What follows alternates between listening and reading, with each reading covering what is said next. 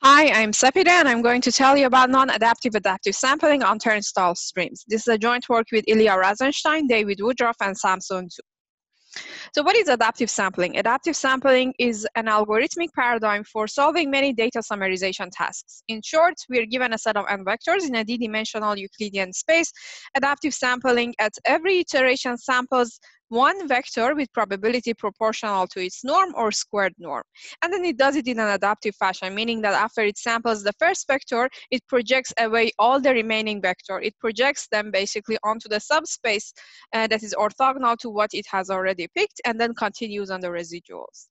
So pictorially, suppose that we have these five points, then maybe in the first iteration, it samples the point that has the maximum norm, and then it projects all the points onto this subspace that is orthogonal to the first vector, and then uh, continues with the projected points. And then maybe in the second round, we sample uh, this vector, uh, and uh, again, we project all the points onto the subspace spanned by the uh, second um, vector.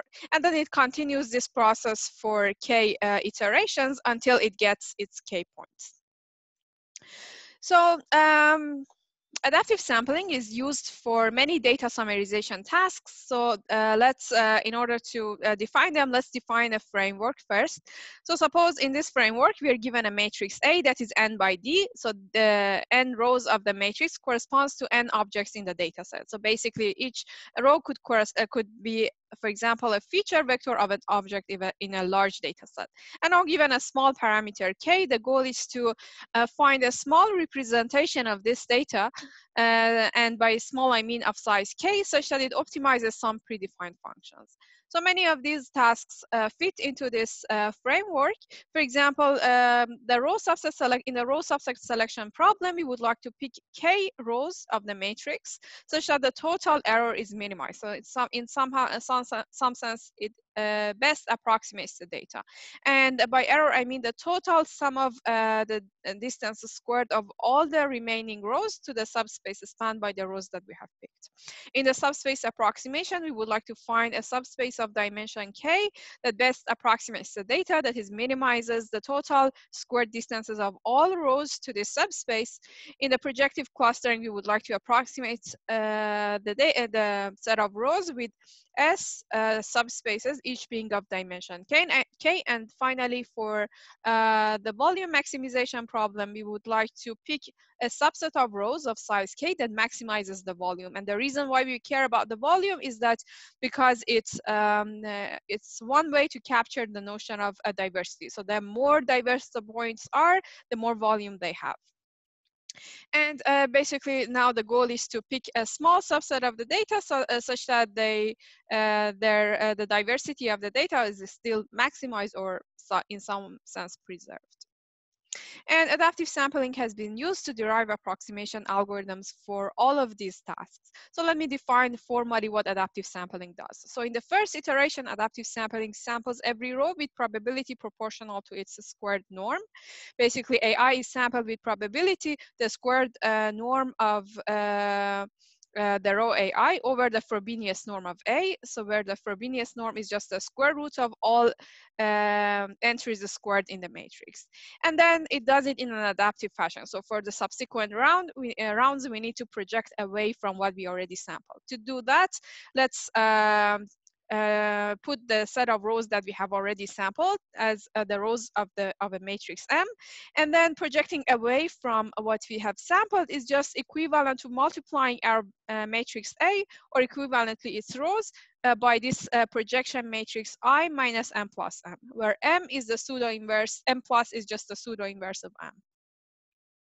And now for k iteration, we would like to sample uh, uh, sample rows of the matrix A with probability proportional to the uh, squared norm of AI times this projection matrix I minus M plus M.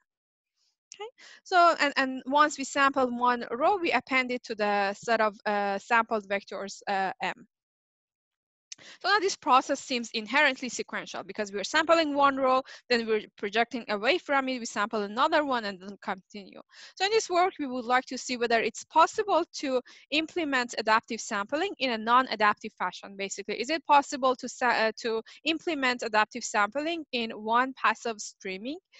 And uh, let's uh, then uh, recap what streaming algorithms are. So um, streaming algorithms are one model to handle large amounts of data. And in particular, they correspond to the case where we don't have sufficient um, storage to uh, sufficient memory to store all the input in the data and process it. So we the data is stored somewhere else, maybe on a disk, and this can we only have sequen we can also only make sequential passes over the data and we would like to solve our problem on the fly. Meaning that we would like to solve uh, we would like to use a small or sublinear amount of storage and solve our problem while making only one or few number of passes over the data. And the parameters we care about here are space number of passes and approximation.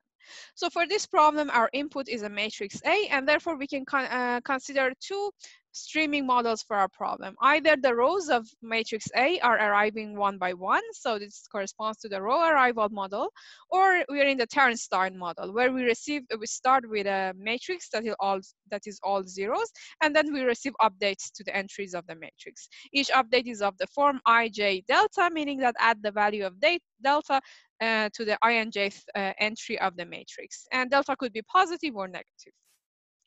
So for the purpose of the talk, I'm going to focus on the row arrival model uh, in the algorithms that I described, but um, I will make it clear which results hold uh, for the streaming, for, uh, for the turnstile uh, setting, and which results only hold in the row arrival model.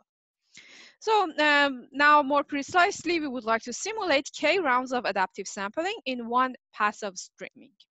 And uh, I should also mention that uh, even uh, some of the initial results on these data summarization tasks considered uh, these problems in the streaming setting.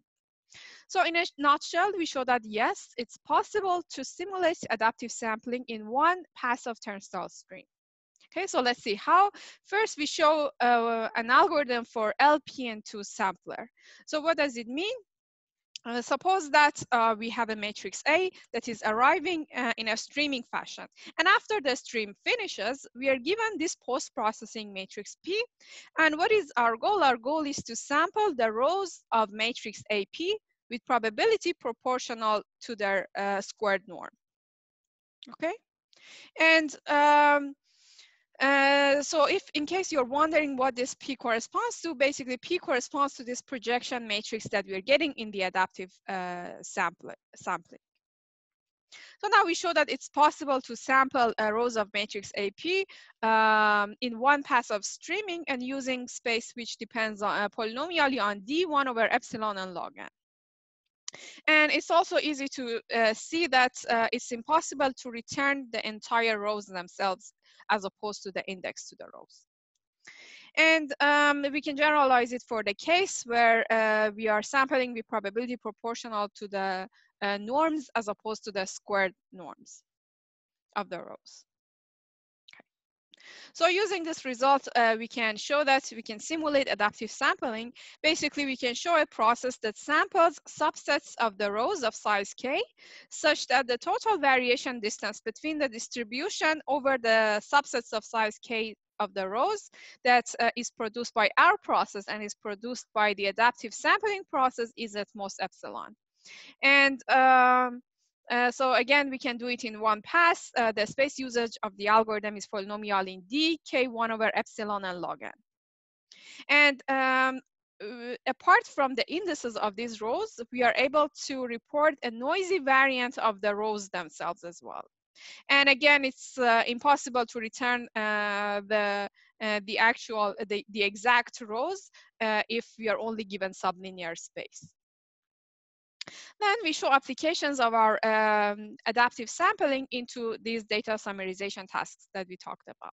So in particular, in the again, in the row subset uh, selection problem, we are given uh, the matrix and a parameter k. We would like to pick k rows of the matrix that uh, minimizes uh, the total uh, square distances of all the remaining rows to the subspace spanned by the rows that we have picked.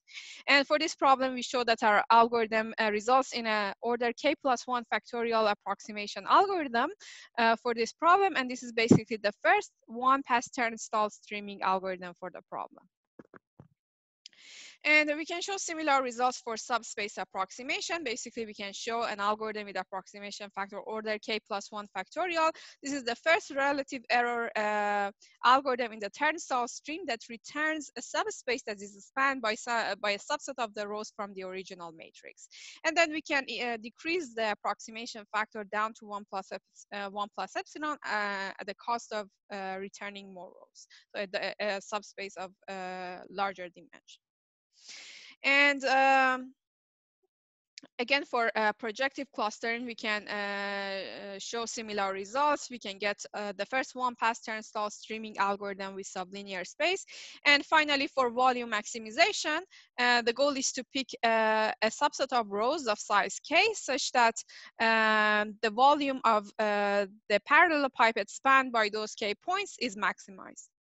So for this problem, we show how to get an algorithm with approximation factor alpha to the k times k factorial. And this is basically the first one pass turnstile streaming algorithm for the problem. And the space usage of the algorithm is n dk squared over alpha squared.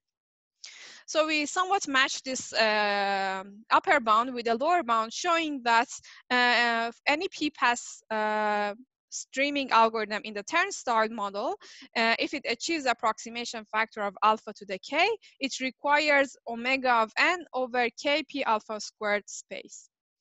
And basically, this is tied up to a factor of k cubed d in the space and k factorial in the approximation.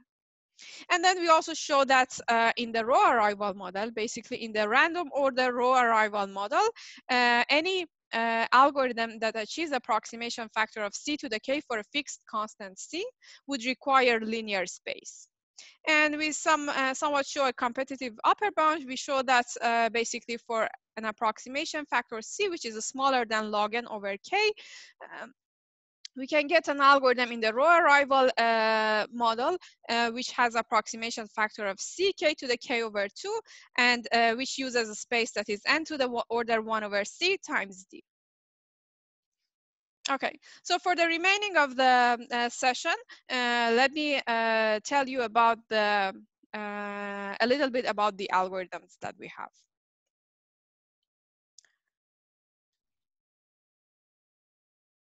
Uh, so let me remind you of our problem. So here we are given a matrix A that is coming in a stream. And after the stream finishes, we are given this post-processing matrix P. The goal is to sample one of the rows of the matrix AP with probability proportional to its squared norm. Okay, so the approach that we follow is uh, the approach of uh, L2 samplers for uh, vectors. So in this problem, we are not given a, a matrix, but we are given a vector in a streaming, uh, in a data stream, and the goal is to uh, sample one of the coordinates with probability proportional to its squared value. And uh, so here what we need to do is that we need to generalize this algorithm from vectors to matrices. And second, we need to handle this post-processing matrix P. So for now, let's forget about the post-processing matrix B and let's see what is this general framework in the case of the uh, matrices. So uh, if we just adapt uh, their algorithm, this uh, here will be the algorithm for uh, the matrices. So uh, for each of the rows of the matrix A, we are going to pick one value uniformly at random from zero to one. Okay, and then we will allow BI to be a scaled variant of the row AI. That is, we let BI to be 1 over square root TI times row AI. And then it's easy to see that uh, the probability that the squared norm of BI is larger than the Frobenius norm of A is exactly equal uh, to the probability that we are looking for. It's exactly equal to uh, the square uh, uh, norm of uh, AI over the Frobenius norm of A. Um, therefore, we can look for the for this event. Basically, we can do the uh, do uh, do what we said and uh, check uh, find uh, an index i for which uh, the the squared norm of pi is larger than the Frobenius norm of a. So there are two issues with this approach. First of all, there could be multiple rows passing this threshold. And um, second is that we don't have uh, access to the values of BI and uh, the values of uh, squared norm of BI and the Frobenius norm of A exactly because we're in the streaming setting. So to handle the first issue, we use uh, the uh, technique that was used even, uh, uh, previously as well. So we increase the threshold and uh, so that this uh, the probability that this event happens becomes lower and we, we need to repeat this process to increase the success probability. And for the second issue, we are going to generalize existing algorithms for count sketch and AMS in order to approximate the squared uh, norm of uh, the rows BI and the Frobenius norm of A. So let me show it uh, only for the count sketch. So in the count sketch, uh, we have a stream uh, of updates to a vector f, and uh, the goal is to estimate the coordinates of this vector up to some uh, error. And we would like to generalize it uh, so that it works for rows of a, uh, ma uh, a, matrix. So we are given a matrix and we would like to uh, approximate the norms of the rows of this matrix. So what count sketch does is that it has multiple hash functions and given a coordinate fi, it uh, um, hash it to several buckets and then uh, it adds or subtracts the coordinate fi from the content of that bucket based on a random plus minus one. And then the guarantee it gives us is that the space usage of the algorithm is only log n over epsilon squared, and uh, uh, and the error is at most an additive uh, factor of epsilon times the total L2 norm of F. And now we do the same thing uh, for, uh, for rows of a matrix. So basically we receive the rows of the matrix and we're going to, uh, again, hash the rows of this matrix uh, into several buckets. But now in each uh, bucket, instead of only containing a scalar value, it's going to keep a vector of dimension d okay? And uh, therefore um, so we do the same thing as before. We based on the sign of the um, hash function we are going to either uh, subtract it or add the, vector bi to the uh, content of the bucket. And then uh, clearly the space usage of the algorithm increases by factor of d and uh, we can show that the estimation error is uh, at most an additive uh, value of epsilon times the total Frobenius norm of B. So using that, we can get our, our L2 and 2 sampler. Um, so we basically, we are going to estimate the values of uh, the norm of the rows, and we are going to estimate the Frobenius norm of uh, A using a generalized variance of count sketch and generalized variant of uh, AMS. And then we are going to check for our, uh, for the events that we are looking for on the, uh, using the estimations, not the actual values. And then we can show that if we repeat this process enough number of times, uh, this will give us the sampler that we want. And now back to the post-processing matrix, we note that our um, component, the components that we are using, basically the generalized uh, count sketch and generalized um, AMS, both of them are uh, linear transformations. And therefore, the whole uh, sketch that we are uh, mm, keeping throughout the stream is just a linear transformation. Meaning that if we want to keep a sketch for the matrix AP, it's enough to keep the sketch only for the matrix A. And at the end of the stream, we can just multiply our sketch by this post-processing matrix P. And therefore, very simply, we can adapt our algorithm to work with this post-processing matrix and get the result that we want. So basically now we can sample the rows of the matrix AP with roughly the probability that we want in one pass of streaming and use using a space that is polynomial in D, 1 over epsilon and log n. So now let's see how we can use our L2 and 2 sampler in order to get uh, our adaptive sampler. So basically here we're going to maintain k instances of our L2 and 2 samplers with a post-processing matrix. And now, uh, so we preserve all these k data structures throughout the stream. And at the end of the stream, we are going to use them one by one in order to get our uh, k samples. So for the, uh, to get our ith sample, we're going to use the ith data structure. And basically we'll, we will use it to sample one of the rows uh, with probability pro uh, proportional to its uh, squared norm.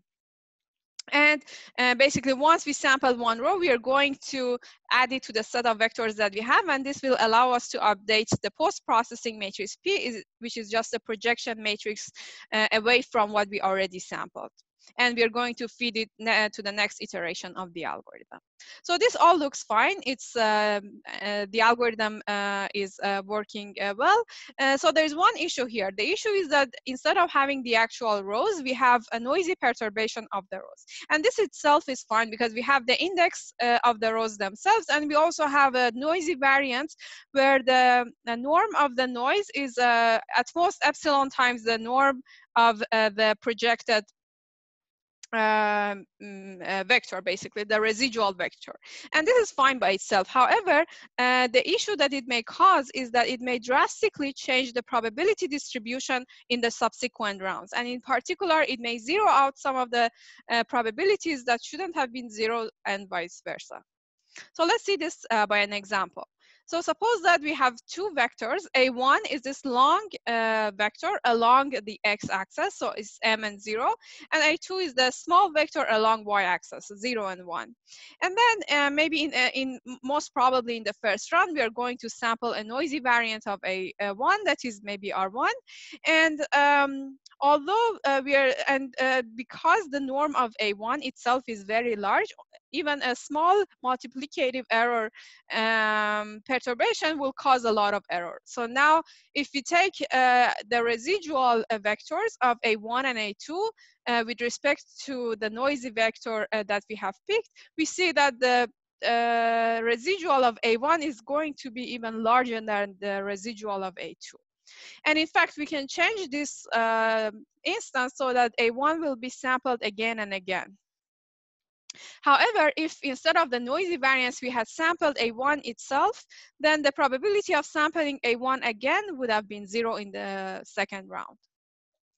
So this shows that we cannot hope for a multiplicative bound on the probabilities. And in this work, what we do is that we show that uh, this picture is not probably going to happen, and what happens is more like this new picture. So in fact, uh, we show that not only the norm of the noise is small with respect to the um, norm of uh, the residual, but it's also small in all, uh, in any direction. And in particular, the norm of the noise in the direction orthogonal uh, to the vector that we wanted to pick is also small. Okay. To be more precise, we show that for any projection matrix Q, and the norm of the noise along that projection is smaller by an additional factor, which depends on the total decrease in the Frobenius norm of AP after we apply this projection. And to give you some intuition, uh, the count, sketch is a linear transformation and uh, multiplying the, matri uh, the matrix by Q results in multiplying the error by Q.